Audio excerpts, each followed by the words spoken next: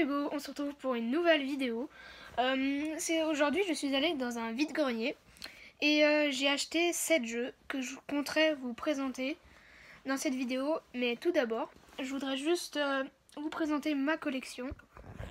Donc, ma collection PS4. Donc, tout ça, c'est PS4. Plus en haut, là, PS4. Donc, ici, attendez. J'ai tout ce qui est Assassin's Creed. Là. Après, j'ai ma collection PS3 qui est ici. Tout ça.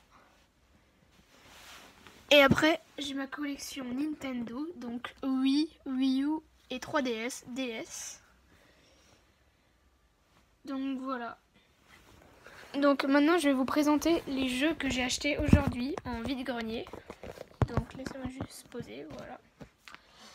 Donc aujourd'hui j'ai acheté Max Payne 3. Après j'ai acheté GTA 4 que j'avais un petit peu testé mais euh, j'avais pas vraiment fait la mission.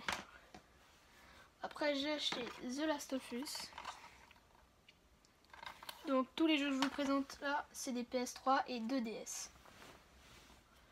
Euh, après, nous avons Call of Duty Black Ops 3, qui j'ai déjà sur la PS4, mais j'ai trouvé sur la PS3 pour voir à quoi il ressemblait. Après, nous avons Saint Row 2. Donc voilà. Après, nous allons passer. Euh, oui, nous allons passer à. Euh, la collection Nintendo. J'ai euh, mes jeux euh, DS, donc j'ai dit Nintendo avant, non c'est DS. Donc mes jeux DS que j'ai acheté, j'en ai acheté deux. Euh, donc nous avons Trackmania Turbo, un jeu que je jouais quand j'étais petit et ça m'a rappelé mon enfance, du coup je, je l'ai pris. Et Tomb Raider sur DS, que j'ai testé et qui ressemble un peu au début à Assassin's Creed, je trouve. Enfin, on peut grimper pas trop partout. Enfin voilà. Donc j'espère que cette petite vidéo vous aura plu. Et euh, pour l'instant, euh, j'ai rien à vous dire. Donc à plus tard pour une prochaine vidéo.